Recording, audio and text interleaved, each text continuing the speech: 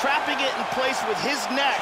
Then he wants to shift his weight, shift his hips down, press his weight down, clamp a hold of it, and squeeze for the tap. He got it! he got it. Nicely done. He got in the choke, refused to tap, and went night-night. Yeah, that's about as good as it gets with that choke, and if you're not willing to tap out, as he was not, then you're gonna go to sleep, and that's exactly what happened. A beautiful setup and even better technique to get the finish to put him out cold. Let's see it one more time. Got the arm in deep under the neck, locked in tight, and it's over before they even get a chance to tap.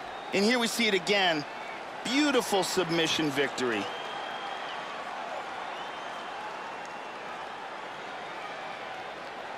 So there he